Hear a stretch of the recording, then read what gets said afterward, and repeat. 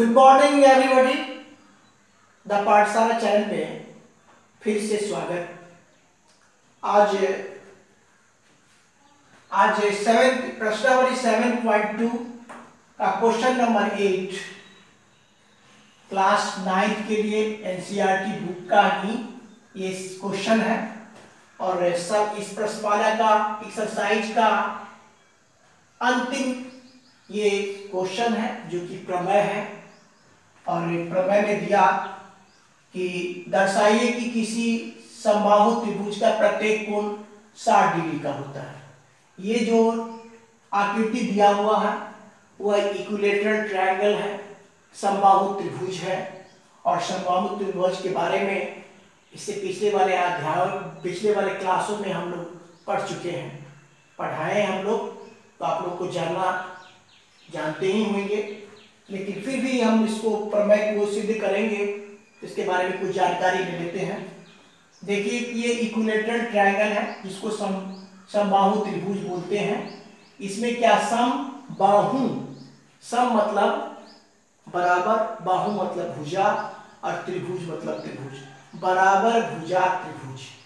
तो जिस त्रिभुज की सभी भुजाएँ आपस में बराबर होती है, उसे समबाहु त्रिभुज कहते हैं। देखिए इसमें देखिए ये भुजा और ये भुजा और ये भुजा बराबर है।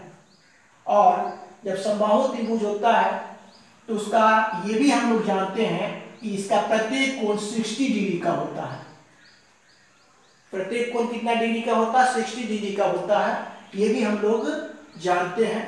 तो आज इसी में से हमको कि प्रत्येक कोण 60 डिग्री होता है, कैसे होता है, उसको हमको साबित करना है।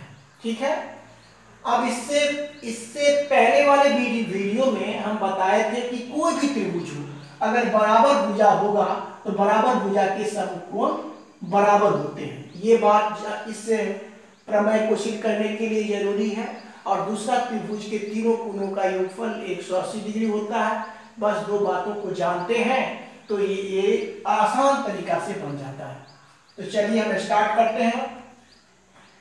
क्योंकि आकृति बनाए हैं, इसको हम मान लेते हैं, लिख लेते हैं। माना कि ए बी सी एक।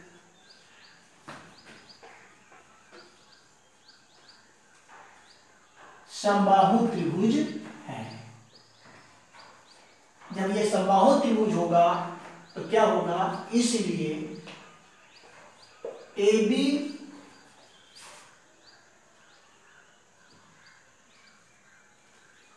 ठीक है?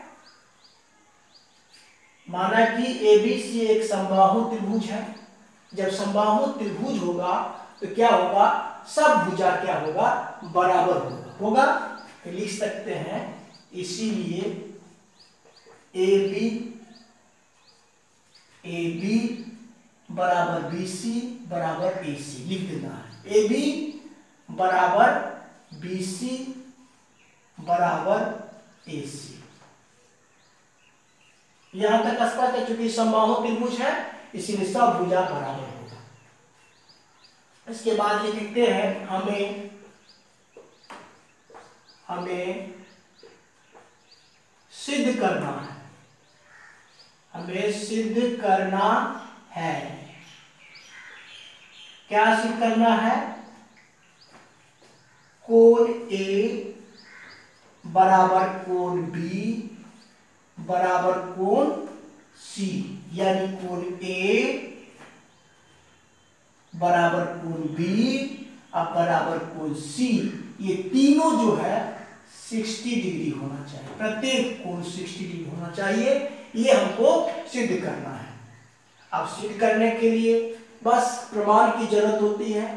तो प्रमाण में क्या आएगा कि बराबर भुजा के समूह कोण बराबर होते हैं। किसी त्रिभुज में बराबर भुजा के समूह कोण बराबर होते हैं, जो कि पिछले वाले वीडियो में बताया गया है। तो ये क्या लिखेंगे? प्रमाण में लिखेंगे। प्रमाण में, चूँकि ए बी बराबर ए सी ए बी बराबर ए सी यानी बराबर भुजा हुआ तो उसके समूह कोण क्या होंगे? ये समुकोण ये समुकोण बराबर होगा। इसीलिए क्या होगा? कोण बी बराबर कोण सी ये आपका समीकरण एक मान लीजिए। और रीजन में लिख दीजिए, बराबर भुजा के समुकोण। बराबर बराबर भुजाओं के समुकोण रीजन देना अनिवार्य है। अगर रीजन देते हैं तो एग्ज़ाम में अच्छा नंबर मिलता है।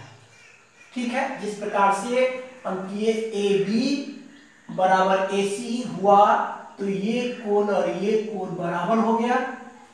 इसी प्रकार इसी प्रकार अब देखिए, इसको बराबर कर लीजिए ए बी बराबर बी सी चूँकि ए बी बराबर ए बी बराबर बी सी जब ए बी बराबर बी सी होगा तो फिर ये कोण और ये कोण बराबर होगा। यानी क्या लिख देंगे? इसीलिए कोण ए बराबर कोण सी ये समीकरण दो मान लेंगे। और रीजन में ऊपर की तरह डू लिख देते हैं, ऊपर की तरह लिख लेना। ठीक है? इक्वेशन वन में देखिए। इक्वेशन वन में देखिए कि ए बराबर बी कोण बी बराबर कोण सी और फिर क्या करता है कि कोण ए बराबर सी यानी दोनों को देखते हैं तो हो जाएगा क्या? लिख देते हैं समीकरण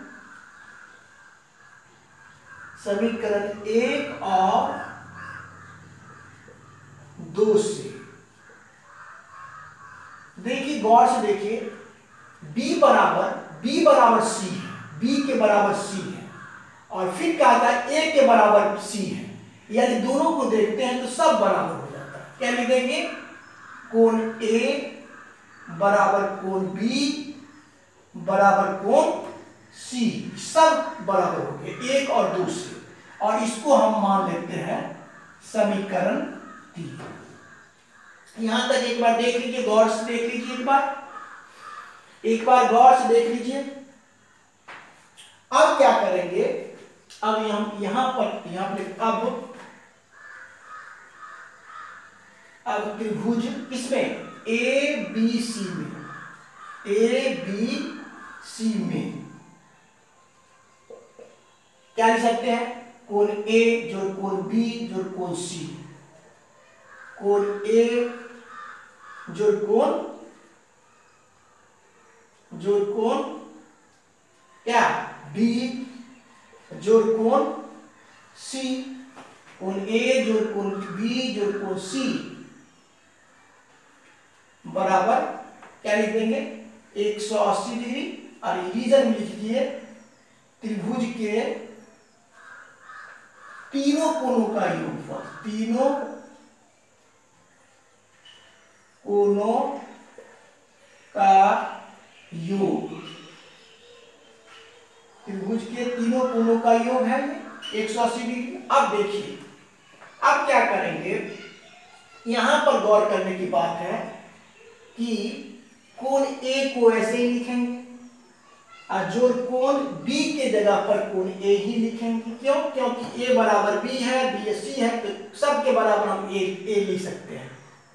जो कोण, क्या चीज़? कोण ए बराबर हो गया 180 डिग्री। अब देखिए, यहाँ से लिख देते हैं। अब क्या हो गया? कोण ए जोड़ कोण ए जोड़ कोण ए बराबर कितना हो गया?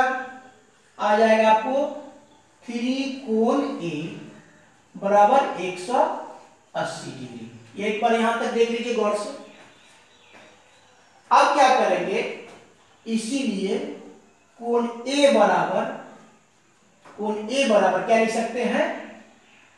कोण ए बराबर लिखेंगे 180 डिग्री बट्टा कितना? थ्री तो कट जाएगा।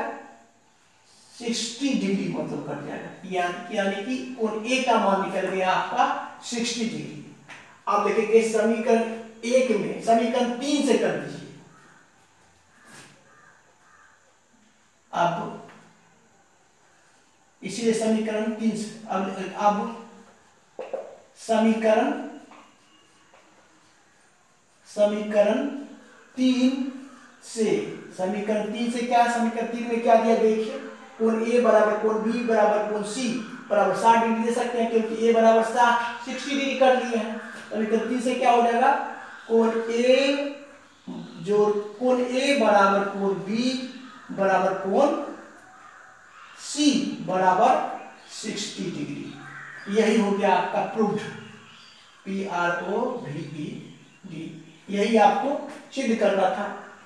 अगर मेरा वीडियो अच्छा लगता है तो लाइक और शेयर सब्सक्राइब कीजिए। Thank you take care